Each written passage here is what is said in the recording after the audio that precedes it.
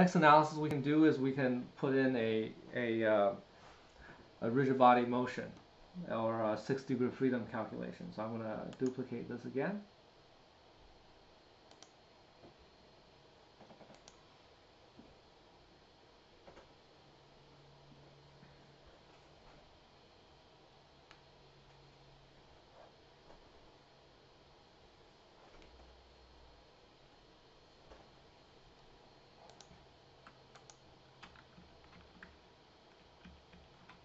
We'll call this uh,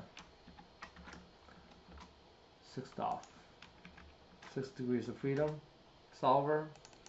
Same type of analysis, we have geometry connected as well as the solution, uh, but I'm going to adjust the, the immersed body settings a little bit.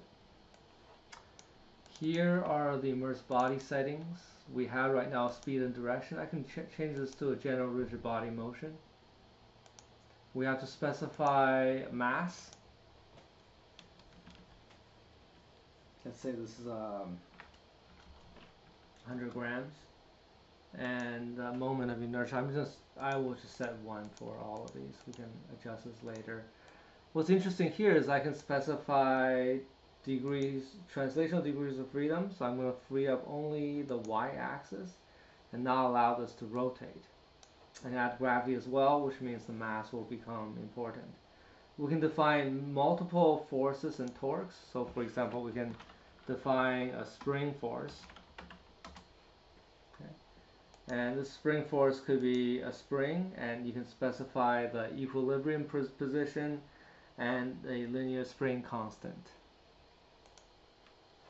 Or we can assign a value. So I can say value of this uh, the value of the force can be a constant or an equation, and I can define multiple forces. So I can, for example, define a stopping force, and I can create an expression such that when the stopper, when the spring, when the valve comes down far enough, it stops it. I have a large increase in force to stop it from going further. I can create, for example, a magnetic force so if I have a solenoid dri driving this, I can specify a stroke value. So all those things are op optional. Here we can say we have no forces in the x and z direction, and here we have, let's say, a minus 10 Newton force.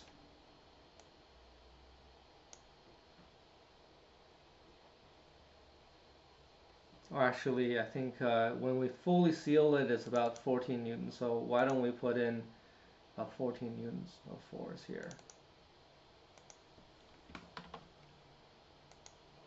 Okay so it's like we have a constant force pushing down at 14 newtons and in this case the force of the spring will balance out the the fluid hydrodynamic pressure on on the valve to find an equilibrium position uh, we may need to have smaller time steps here, uh, depending on how much the, how big the force is. But let's go ahead and run the simulation and see how it works. Before I do that, I'm going to save it. So I will save it in my immersed boundary examples.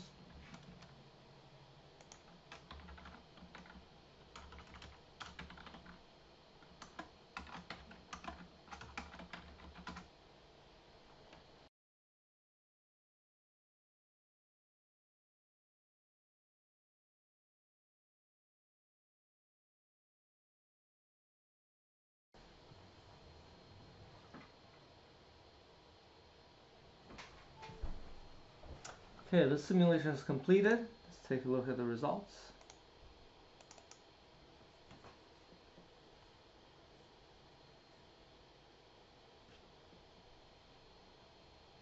That's the final result. Let's take a animate this and see.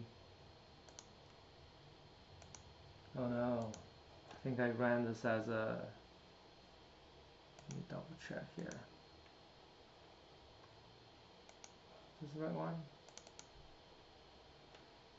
This is. So, output control. Oh, I am saving transient results.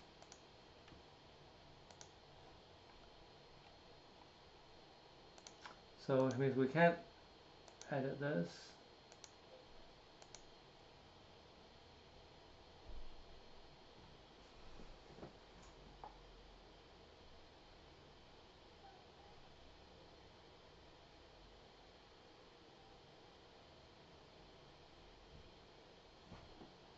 Huh. See what happened here. So the very first time step looks like this. Okay, so we, we're going down. So after a tenth of a second, it's pretty much down here, and let's see if it bounces up. And then the rest just kind of maintains the, the small gap flow maybe a little bit of vibration up and down. So this shows you the ability to do this type of analysis. Hmm.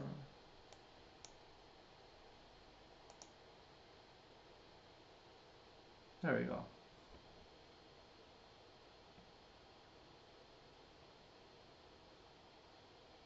Alright, we won't see anything different is because after about uh, 76 steps here, it just stays the same. It reaches a position and it's, it stays because the fluid dynamic forces and the spring force balance out. Alright, so that's a few examples of how we can use immersed body modeling to model moving valves. We can certainly move the valve as it goes up and down through remeshing, through mesh stretching.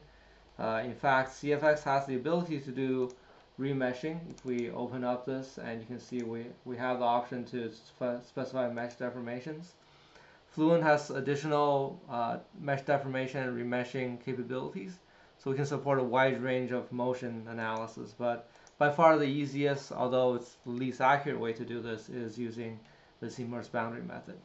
That's it for this video. Thank you so much for watching. If you like this video, please uh, subscribe to our YouTube channel, like this video, and uh, hope you have a great day. Bye-bye.